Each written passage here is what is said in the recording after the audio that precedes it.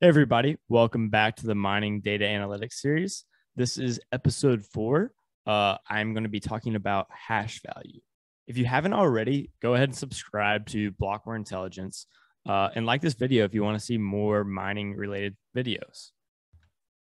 So we're going to be talking about hash value today. This is the quick chart of what hash value has looked like over the last year. But what is hash value? So hash value is an important metric for miners to be monitoring. Basically, it tells you how many sats or how much Bitcoin you earn per terahash per day. And again, terahash is basically a measurement of how much hash rate a miner has deployed. So there are a couple things that increase hash value.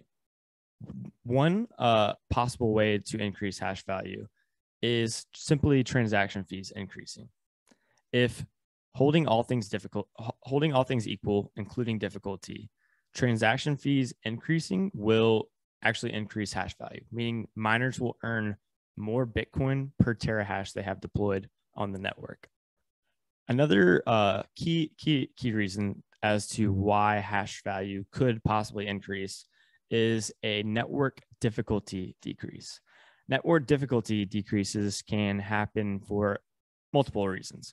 Uh, one very common one is economic reason, meaning some miners are simply not profitable to be operating their machines anymore. So they, you know, may turn off their machine and difficulty may adjust downward. Another reason is political. We saw a great example of this when China banned mining uh, back in the summer of 2021. And then last, it could be, you know, an environmental reason, which could be anything from a natural disaster to the China rainy season that used to happen or that happens just about every year. Another, uh, so so that's how basically hash value could increase, but hash value could also decrease, and in fact, it normally is decreasing fairly steadily over time. But there are two key sources that that basically cause hash value to to decrease. The first one is the block subsidy halving, this is something that occurs every four years in Bitcoin, where the amount of new Bitcoin released to miners uh, through the block subsidy gets cut in half. Um, and so I'll, I'll show examples of, of what this does to hash value, but, but basically it, it cuts hash value roughly in half. Another um, key example that happens just about every two weeks is network difficulty increase increases. This occurs normally when more miners are simply joining the network. Um, and it can also occur when ASICs are becoming more efficient. And so over time, both of these typically are happening relatively slowly, but happening. And difficulty is constantly moving upwards. And so let's let's dive into some examples and, and look back at hash value since the beginning of 2020. So I highlighted three key examples here that that show relatively major adjustments uh, in hash value. The first one in the very left, top left, is the March 2020 price capitulation. This was back when equities were, were falling uh, significantly back then. The price of Bitcoin fell roughly 50% in one day. And as a result of this, many miners were simply unprofitable, like they couldn't operate. So, so they shut off their machines. This ultimately led to a, you know, uh, accommodative downward difficulty adjustment, meaning it, it became easier for miners to mine Bitcoin and therefore hash value increased. The next uh, red circle I have highlighted here is the May 2020 halving. This is, you know, simply a block subsidy decrease. Uh, the block subsidy got cut in half.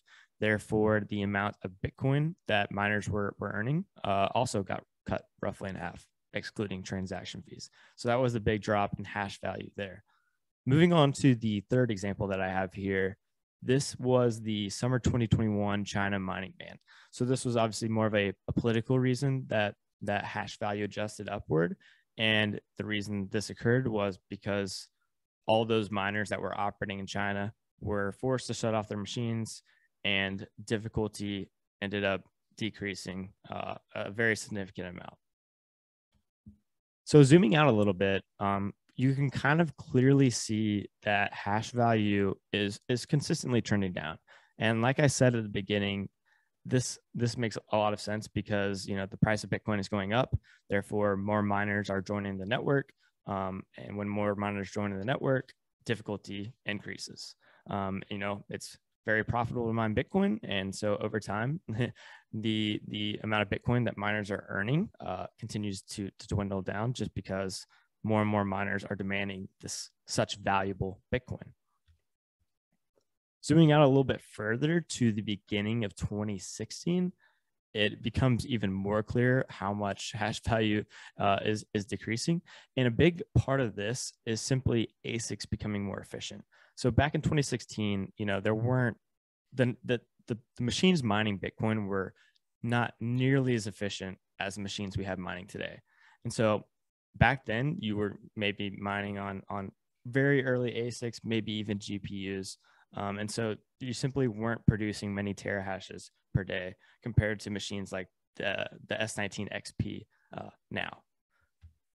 But if we go zoom out even further and we adjust the price and hash value to both logarithmic scales, um, we can we can clearly see this this same uh, trend playing out just just on a lar- larger time frame.